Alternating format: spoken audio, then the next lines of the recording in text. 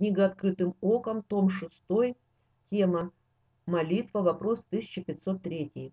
В молитве «Отче наш» Матфея 6.9-10 «Молитесь же так, Отче наш, сущий на небесах, да светится имя Твое, да придет царствие Твое, да будет воля Твоя и на земле, как на небе».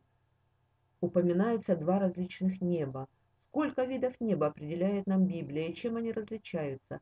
В народе, когда желают выразить высшую степень блаженства, говорят «на седьмом небе». У всяких экстрасенсов и колдунов также упоминается семь небес, отвечает Игнатий Тихонович Лапкин. В данной молитве в словах «на небесах» и «на небе» не делается различия, но смысл заложен один и тот же. Слово Божие упоминает нам о трех небесах и о небе небес. Больше ничего не известно. 2 Коринфянам 12.2.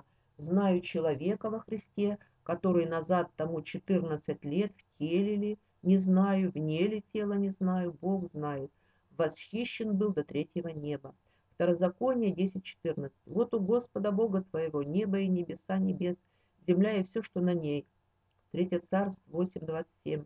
Поистине Богу лежит на небе, Богу, поистине Богу лежит на, на земле, небо и небо небес не вмещают тебя, тем менее сей храм, который я построил имени Твоему. Исайя 37:16. Господи, Саваоф, Боже Израилев, сидящий на херувимах, Ты один Бог всех царств земли, Ты сотворил небо и землю. Евреям 4:14. Итак, имея первосвященника великого, прошедшего небеса, Иисуса, Сына Божия, будем твердо держаться исповедания нашего. Нам непонятно, что значит сидение на херувимов. Дионисий Ареопагит много о том пишет при описании иерархии небесной, но доверять ему мы не можем на сто процентов, ибо на этот счет дано грозно-насмешливое предупреждение от апостола Павла. Колосинам 2.18. Никто да не обольщает вас самовольным смиренномудрием и служением ангелов, вторгаясь в то, чего не видел, безрассудно надмеваясь плотским своим умом. Откуда же тогда появилось это седьмое небо? Вполне допускаю, что это от слышал звон, да не знаю, где он. В Откровении Анна есть совмещение этих двух слов в одном месте, а не знающие Писание легко могли перевести это и сместить по счету на количество небес. Откровение 15.1.